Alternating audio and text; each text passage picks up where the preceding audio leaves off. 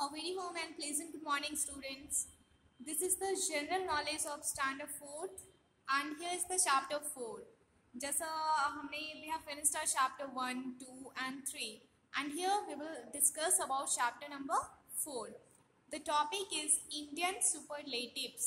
मतलब इंडिया आपको तो यही पता है ना कि अभी तक हमने जितना भी पढ़ा है वन टू थ्री जो भी हमने पढ़ा वो सारी चीज़ें हमें इंडिया से ही रिलेटेड चीज़ें पढ़नी है। मतलब उन चीज़ों के बारे में जानना है जो इंडिया में है। और वो famous all over the world है। पूरे संसार भर में लोग उसे जानते हैं। तो इंडिया बस इसलिए नहीं है कि हाँ हमारी संस्कृति ऐसी है, हमारा कल्चर ऐसा है ट्रेडिशन ऐसा है। उसके अलावा भी बहुत सी चीज़ें ऐसी हैं इंडिया में जो कि टूरिस्ट अट्रैक्शन का एक कारण है। इंडिया में जितने भी टूरिस्ट आते हैं तो वो क्यों आएँगे भाई? क्यों आएँगे किसी के यहाँ क्यों जाते हैं हम लोग? तो कुछ तो होनी चाहिए ना, कुछ तो खासियत होनी चाहिए। तो उन्हीं चीज़ों के बारे में हमने यहाँ पढ़ा कि इंडिया में कौन कौन सी चीज़ें हैं। तो देखिए, यहाँ पे भी हमें वही करना है। तो फ़र्स्ट है हमारा हाईएस्ट डैम मतलब which is the highest dam of India तो क्या हो गया? तेहरी डैम डैम सेकेंड है लॉन्गेस्ट ब्रिज सबसे लंबा पुल जो है Bandra Worli sea link third है हमारा, जो कि बैंड्रा का है, मुंबई में। और थर्ड है हमारा लार्जेस्ट लेक सबसे बड़ा झील। तो कौन है वो? उलार लेक आपको पता है ना this is the largest fresh water lake हम जानते हैं इसके बारे में। फोर्थ है लार्जेस्ट डोम डोम मैंने आपको बताया था ना, क्या होता है? डोम पता है किसे कहते हैं? जो मंदिर में, मस्जिद में, आप जो देखते हो ना, सबसे ऊपर में जो सर्कुलर शेप का होता है। राउंड होता मंदिर के ऊपर, जो किला का सबसे टॉप वाला पॉइंट है, उसी को हम कहते हैं डोम। तो वो कौन सा है? गोल गुम्बस फिफ्थ है हमारा longest river which is the longest river तो दिस इज़ गंगा। गंगा के बारे में हम सब जानते हैं, गंगा एक सेक्रेट प्योर नदी है जिसमें ऐसा माना जाता है कि गंगा के बारे में आपको पता है ना, कि भागीरथी के नाम से भी इसको जानते हैं, क्योंकि भागीरथ जो थे, वही इसको धरती पर लेकर आए थे। इसके बाद है हमारा सिक्स नंबर पे है हाईएस्ट पीक तो ये कौन है? कंचन जंगा. ये इंडिया की बात हो रही है. अगर पूरे वर्ल्ड में हो तो which is the highest peak of the world तो डैट इज़ माउंट एवरेस्ट जो कि नेपाल में है. लेकिन अगर इंडिया की बात की जाए तो वो है कंचन जंगा. सेवेंथ है हमारा हाईएस्ट मीनार. तो वो कौन है? कुतुब मीनार.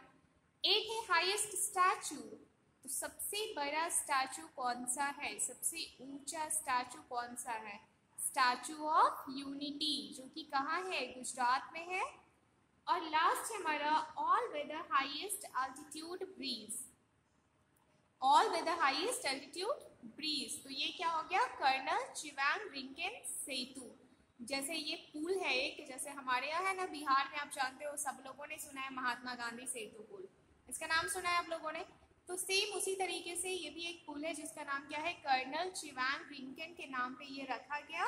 और ये है कर्नल चिवांग रिंकन सेतु।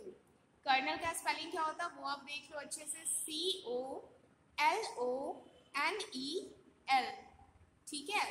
कर्नल इसको, इसका प्रोनाउंसिएशन क्या होता है? कर्नल लेकिन इसको लिखते कैसे है? C O L O N E L तो ये आपको सेम जैसे ये लिखा हुआ है सेम इसी वे में आपको कॉपी में नोट डाउन करना है।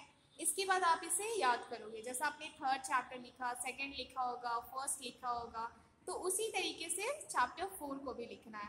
आप कॉलम बनाओगे, एक तरफ़ लिखोगे जैसे क्वेश्चन आंसर होता है ना सेम उसी वे में। तो फ़र्स्ट आप लिखोगे हाईएस्ट डैम तो तेहरी डैम हो गया।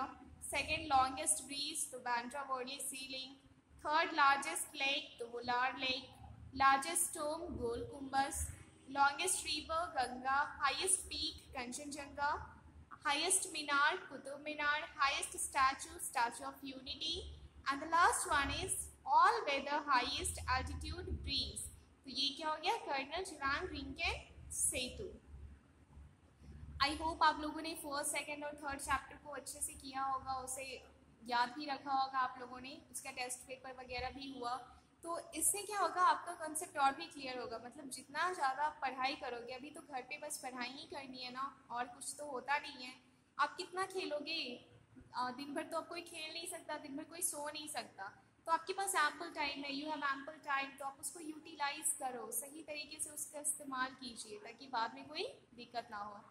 ठीक है? बाकी हम अपने नेक्स्ट नेक्स्ट वीडियो में देखेंगे। Till then be safe and thank you